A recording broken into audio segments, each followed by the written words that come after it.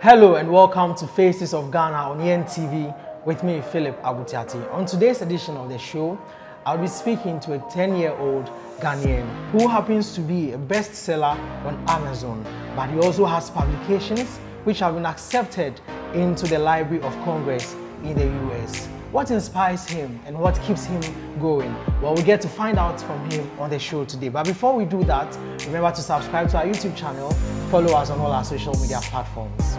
Hi, Nicholas. Hi.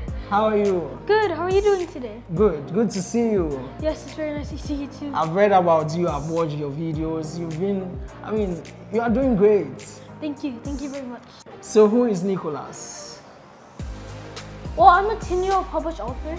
I published my first book at the age of seven, and I now have three books published and cataloged into the Library of Congress.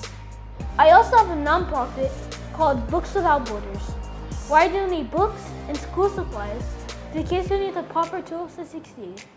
And off camera, I'm just a kid who likes playing with my friends, playing on my Xbox, playing basketball, soccer, and so much more. Nicola, so tell me, what do you write about? Well, my first book is called Kayla and Kyle, The Walking Dictionaries, Election Day, and that's about a brother and a sister who go head to head in an election.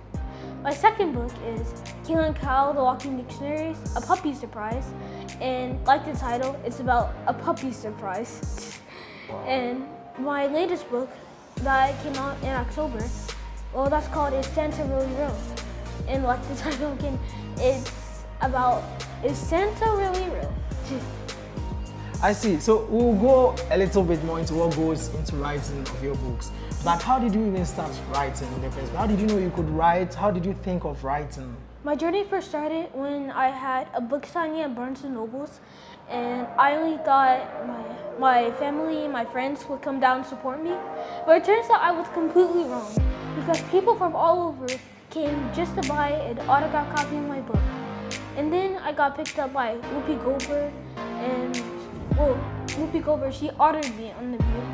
And then Steve Harvey interviewed me and that's when I started selling thousands of copies of my book. Have you, were you born in Ghana? Have you been in Ghana all this while? When did you come to Ghana? Well, I, I wasn't born in Ghana, but my first visit was when I was four years old. And this is actually my third visit. So we've seen stories about you donating a wheelchair to one guy who is physically challenged. How did you meet him and I mean how what was the conversation between you and him? Oh yes, uh, Samuel, because I actually came across him on on your on your article it, on your news. And at yen.com? Yes. Oh wow. Yes, and it was saying that he called four hours to school every day. So once I saw that, I told my mom I had to help. So when I saw his reaction on video, because I didn't actually go meet him in person, you know, that was really touching because he had tears in his eyes. So I'm sure you've had a feel of Ghana's educational system. You've schooled in Ghana here before, or you're schooling in Ghana here. Uh, yes, I, I actually am. And when I was four years old, I went to preschool here. I want to know, what do you like about Ghana? You know, I love the kind people. I got to meet Otumfuo Nana Osei Tutu the second, the Asantehene. We had a one-on-one -on -one conversation and I got to shake his hand. So that was actually an amazing feeling. Did you see the golden stool? No, but next time we go, uh, I do want to. I really do want to. And one thing I really like is the coconuts on the street because you won't really find that in America. So that's just amazing. I just get to drink the nice coconut like. you love coconuts? Yes, I love it. I oh, own a coconut. Ooh, a coconut, yes.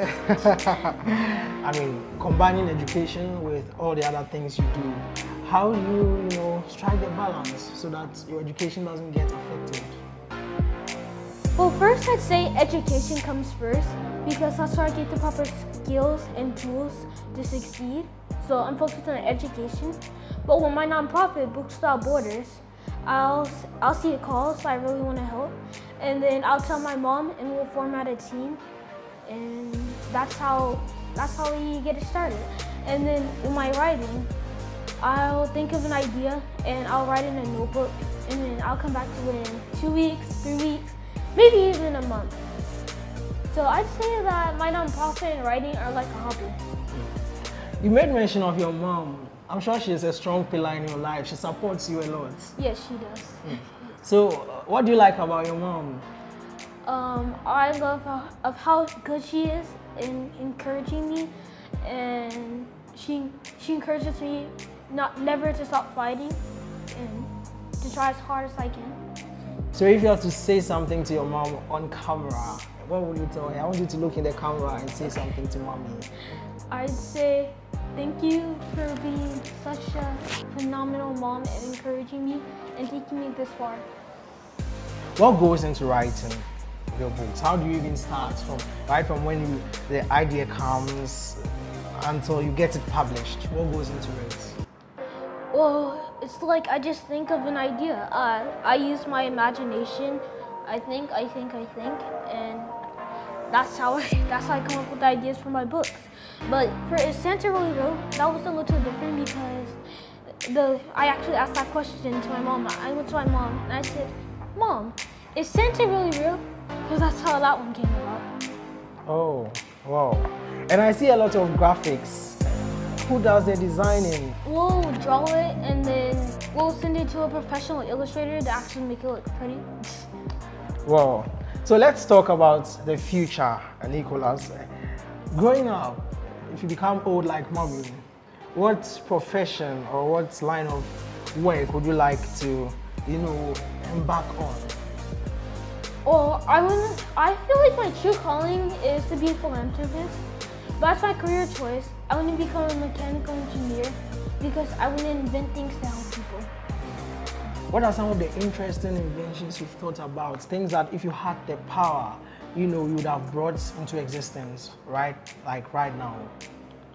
Uh, I want to invent an extremely advanced water purifier to help countries all across the globe. Water purifier. Yes. It means you've identified an issue of, you know, inadequate potable water around the globe. So tell us what you are working on. Well, on my with my nonprofit, because I actually have two things I'm working on. So with my nonprofit, I'm going to be renewing children healthcare cards here in Ghana with my Nick's Christmas extravaganza, which is something I do yearly for Christmas, of course, because of the name, Nick's Christmas extravaganza. And then uh, what I'm going to be doing with my career is I'm actually I actually created a TV show, and we're going to be shooting a pilot, and well, next year. So what's the show about? Uh, the show is going to be about me and what I like doing off camera. So Nicholas, tell us about your ambassador. Well, I'm actually the new face of the Kid Media Palette. That's nice. You met Steve Harvey, did you? You were on his show. Yes, I got to meet Steve Harvey, and that was a lot of fun because he was a very funny person. He he had me laughing the whole time. He donated 555 of my books to my nonprofit Books Without Borders. So he actually bought them and he donated them. Yes. Oh, that's nice. If you want to buy my book, you could go to my website, nicholasbuamah.com. And if you want to follow me on social media, it's at Nicholas Buamah. I mainly upload on Instagram, Facebook, and YouTube.